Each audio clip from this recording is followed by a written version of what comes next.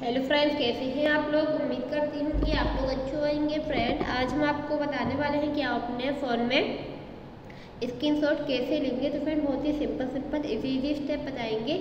आपको देखना है और फॉलो करना है वीडियो की पूरी जानकारी लेने के लिए। वीडियो लास्ट तक ज़रूर देखना। अगर फ्रेंड आपने मेरे चैनल को सब्सक्राइब नहीं किया है तो बेलाइक दबाइए। चैनल को सब्सक्राइब कीजिए। फ्रेंड आपको ऑप्शन देखने को मिलेगा फ़ोन में। पावर और वॉल्यूम वाला बटन दोनों को एक साथ क्लिक करेंगे तो आपके फ़ोन में स्क्रीनशॉट आएगा। इस प्रकार आपने फ़ोन में स्क्रीन शॉट लेंगे। यहाँ से आपको शेयर के ऑप्शन पे क्लिक करके आप यहाँ से शेयर कर सकते हैं। यहाँ से आपको स्क्रीनशॉट क्लिक कर लेना है। यहाँ से आपको ओपन यहाँ से आपको स्क्रीनशॉट पे क्लिक कर लेना है। तो इस प्रकार आपने फ़ोन में स्क्रीन शॉट लेंगे।